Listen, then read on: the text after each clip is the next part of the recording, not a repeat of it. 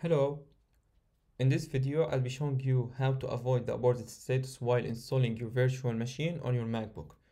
So, every time I click the start option, the virtual machine uh, status will be switching from running to aborted. So this problem is facing me on MacBook Catalina 10, 16, uh, 15.6. So after some while, uh, the status will be switched from running to aborted as we can see and now we have the uh, the error message.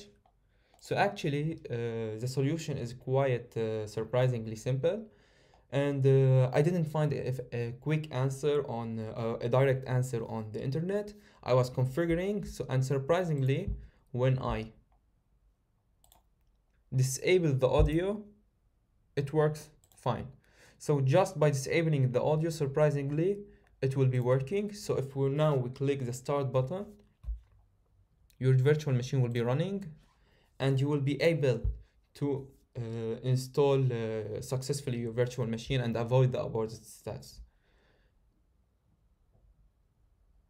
As we can see, the virtual machine is working and uh, Ubuntu is uh, running uh, normally and now we can install our virtual machine uh, successfully and uh, do the normal procedure for installing the virtual machine. Uh, thank you for listening and I hope this video find, finds you well. See you on next videos.